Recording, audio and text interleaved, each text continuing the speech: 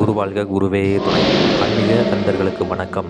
இன்றைக்கி நாம் இந்த வீடியோ பதிவில் பார்க்க போகிற தகவல் என்னென்னு கேட்டிங்கன்னா வெளியே கொடுத்த பணம் விரைவில் திரும்பி வர ஒரு அதிசக்தி வாய்ந்த பூஜை முறையை பற்றி தான் நான் இந்த வீடியோ பதிவில் முழு விளக்கத்தோடு சொல்ல போகிறேன் நீங்கள் இந்த வீடியோ பார்க்குறதுக்கு முன்னாடி நம்மளுடைய YouTube channel Sri Veda Sivasakthi Sai YouTube சேனலை சப்ஸ்கிரைப் பண்ணாதவங்க பண்ணிக்கோங்க. அப்படியே பக்கத்தில் இருக்கக்கூடிய பெல் ஐக்கான் பட்டனையுமே கிளிக் பண்ணிக்கோங்க. சரி வாங்க இன்றைய வீடியோ பதிவுக்குள்ளே போகலாம் அதாவது இந்த பூஜை வந்து யாருக்கு பிரயோகப்படுத்தணும் அப்படின்னு சொல்லி கேட்டிங்கன்னா உங்கள்கிட்ட பணத்தை வாங்கிக்கிட்டு உங்களுக்கு திருப்பி தராமல் பணத்தை வச்சுக்கிட்டே ஏமாத்துறாங்க அப்படின்னு சொன்னால் நீங்கள் அவங்களுக்கு பிரயோகப்படுத்துனீங்கன்னா கண்டிப்பாக நூறு சதவீதம் கொடுத்த பணம் திரும்பி வந்துடும் இதுவே அவங்கக்கிட்ட பணமே கிடையாது அப்படிங்கிறவங்களுக்கு நீங்கள் இந்த பரிகாரங்கிறது கிடையாது. நீங்கள் எந்த பரிகாரம் செஞ்சாலுமே வந்துட்டு உங்களுக்கு பலன் தராது. அதை முதல்ல தெளிவாக புரிஞ்சுக்கணும். சரிங்களா? உங்கள்கிட்ட பணத்தை வாங்கிக்கிட்டு அவங்ககிட்ட பணம் இருக்கும். சரிங்களா? அவங்களுடைய செலவெல்லாம் ஆடம்பர செலவுகள் பண்ணுவாங்க. ஆனால் உங்களுக்கு மட்டும் கொடுக்குறதுக்கு மனசே வராது. அப்படியாக இருக்கக்கூடிய பட்சத்தில் என்ன பண்ணணும் அப்படின்னு சொல்லி கேட்டிங்க அப்படின்னு சொன்னால் இது செய்கிறதுக்கு ஏற்ற நாள் எப்போ அப்படின்னு சொல்லி கேட்டிங்கன்னா அமாவாசை நாளில் நீங்கள் இந்த பூஜை ஆரம்பிக்கணும். சரிங்களா?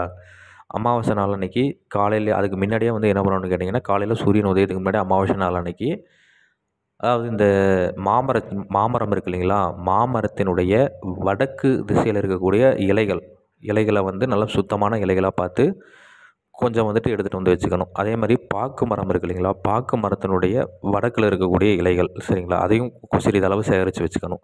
சேகரித்து வச்சுட்டு இந்த இரண்டையுமே வந்து சாபம் போக்கி தான் எடுக்கணும் சரிங்களா? கண்ணினூல் காப்பு கட்டி தூப தீபங்கள்லாம் போட்டு படைகள் போட்டு அதனுடைய ஷாபன் சாபத்தை போக்கி எடுத்துகிட்டு வந்து வச்சுக்கணும்.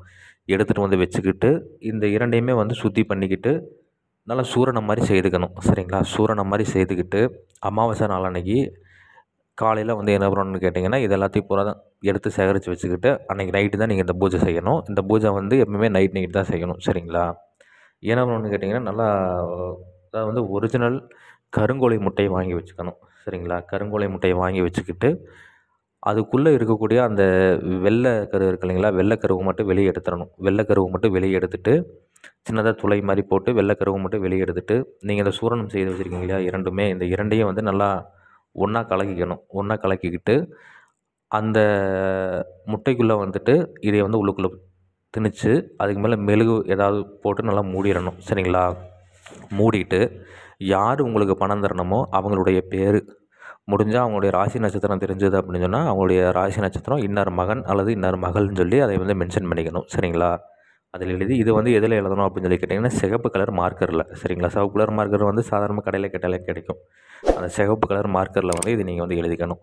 எழுதிக்கிட்டு வீட்டில் வந்து ஒரு சுத்தமான இடத்துல அதாவது வந்து தெற்கு சைடு சரிங்களா? வீட்டில் வந்து தெற்கு சைடு இருக்கு இல்லைங்களா? தெற்கு திசையில் வந்து தான் நீங்கள் இந்த பூஜை செய்யணும். தெற்கு திசையில் வந்துட்டு ஒரு இடத்த வந்து நீங்கள் ஃபஸ்ட்டு தேர்வு பண்ணி அந்த இடத்த சுத்தம் பண்ணி அங்கே நல்லா வாசனை திரவியங்கள்லாம் தெளித்து விட்டு நீங்கள் வந்து என்னென்னு கேட்டிங்கன்னா அங்கே வந்து தீபம் ஏற்றிக்கணும் தேங்காய் எண்ணெய் தீபம் தான் ஏற்றணும் தேங்காய் எண்ணெய் தீபம் ஏற்றி இந்த பூஜை வந்து இரவு நேரத்தில் தான் பண்ணணும். சரிங்களா? சூரியன் அஸ்தமனம் ஆனதுக்கப்புறம் தான் பண்ணணும். ஏழு நாட்கள் வந்து நீங்கள் இந்த பூஜையை வந்து தொடர்ந்து பண்ணணும். அந்த ஏழு நாட்களுமே வந்து என்னென்னு கேட்டிங்கன்னா ஒரு டைம் அப்படின்னு சொன்னால் அதே டயத்தில் தான் பண்ணணும். இப்போ எட்டு மணிக்கு பூஜை செய்கிறீங்க அப்படின்னு சொன்னால் அந்த ஏழு நாட்களுமே அந்த எட்டு மணிக்கு தான் நீங்கள் பண்ணியிருக்கணும். இல்லை பன்னெண்டு மணிக்கு நீங்கள் பூஜை பண்ணியிருந்தீங்க அந்த ஏழு நாட்களுமே பன்னெண்டு மணிக்கு தான் நீங்கள் அந்த பூஜை செய்யணும். சரிங்களா? அந்த மாதிரி அதை நீங்கள் வந்து அந்த டயத்தை வந்து மாற்றிடக்கூடாது அதுக்கான மந்திரம் நான் கொடுத்துருக்குறேன். சரிங்களா? இந்த முட்டையை வந்து என்ன பண்ணணும்னா நீங்கள் முதல்ல தலைவாழையில் விரித்து அதுக்கு மேலே கல் உப்பு அதுக்கு மேலே நவதானியங்கள்லாம் கொட்டி அதுக்கு மேலே இந்த முட்டையை வச்சிடணும். முட்டையை வச்சுட்டு முறையாக வந்து படையிலெல்லாம் போட்டுட்டு தேங்காய் எண்ணெய் தீபம் ஒன்று ஏற்றிக்கணும் ஏற்றிக்கிட்டு அதுக்கான மந்திரம் நான் கொடுத்துருக்குறேன். இந்த மந்திரத்தை வந்து ஒரு ஆயிரத்தெட்டு உரு உச்சரிக்கிறீங்க. இந்த மாதிரி வந்து என்னென்னு கேட்டிங்கன்னா ஏழு நாள் பூஜை பண்ணுறீங்க சரிங்களா? ஏழு நாள் வந்து இந்த மாதிரி சம்மந்தப்பட்ட நபர் வந்து உங்களுக்கு பணம் கொடுத்துடணும் அப்படின்னு சொல்லி சங்கல்பம் வச்சு மனதார வேண்டிக்கிட்டு உங்களுடைய குலதெய்வம் இஷ்ட தெய்வம் உங்களுடைய குருமார்கள் சித்தர்கள் யோகிகள் முனிவர்கள் ரிஷிகள் எல்லாத்தையும் மனசார வேண்டிக்கிட்டு சங்கல்பம் வச்சுக்கிட்டு நீங்கள் இந்த பூஜை வந்து செய்யணும்.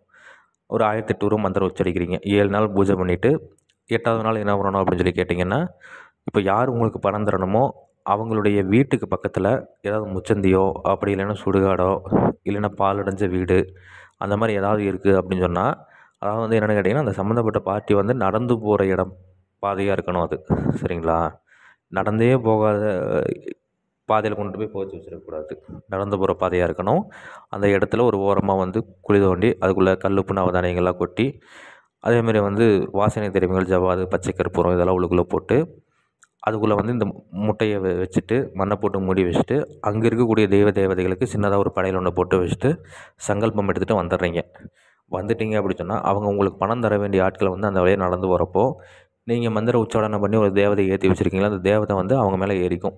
ஏறிக்கிட்டு மிக விரைவில் அவங்களுடைய மனசை மாற்றி உங்களுக்கு வர வேண்டிய நியாயமான பணத்தை வந்து வாங்கி அவங்களே கொண்டு வந்து கொடுக்கக்கூடிய அளவுக்கு அது வந்து செய்து கொடுக்கும். சரி நண்பர்களே இதை நீங்கள் முறையாக தக்கன குருமார்கள்ட்ட ஆலோசனை பண்ணி செஞ்சு பா அடைஞ்சு பாருங்கள் நன்றி. மீண்டும் வேறு ஒரு நல்ல தகவல் கொண்ட வீடியோவில் உங்களை நான் சந்திக்கிறேன்.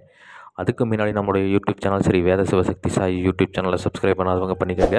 அப்படியே பக்கத்தில் இருக்கக்கூடிய பெல் ஐக்கான் பட்டனையுமே கிளிக் பண்ணிக்கோங்க. நன்றி. வணக்கம். வாழ்க வளமுடன். ஓம் நம சிவாய. குரு வாழ்க குருவே துணை.